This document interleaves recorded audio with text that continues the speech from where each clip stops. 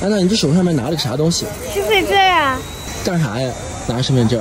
一会儿再有人叫我小老歪，我直接掏出来给他们看。为了庆祝安娜成为一个合格的中国籍小孩，给她安排了一辆新能源国产坐骑。咱们打开看看啊！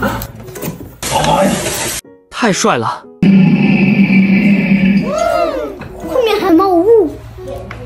这这是个真正的摩托车。不行，我要赶快下去取一取。这个油箱加满油了吗？充电的不是加油。大家看我酷不酷？我可以骑着去上学了。出发啦！冲冲冲！